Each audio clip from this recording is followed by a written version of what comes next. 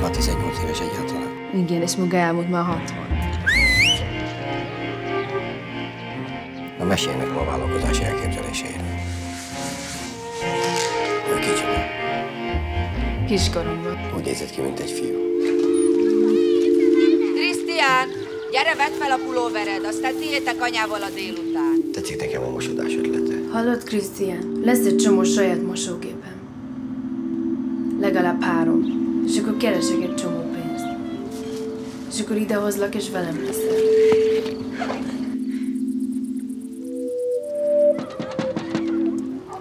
Miért nem engedett be az előbb, amikor kopogtam? Mert akar baszni, miért akar bejönni a házamba? Krisz, nem láttad?